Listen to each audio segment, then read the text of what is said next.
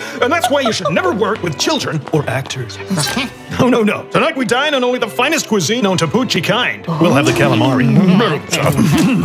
A beauty to behold. Why, thank you. That pure, unquestionable taste. My pedigree does precede An aroma that awakens the senses. I beg your pardon. And that succulent, chewy texture. Sit, Indeed, this is the food of the dogs. Oh!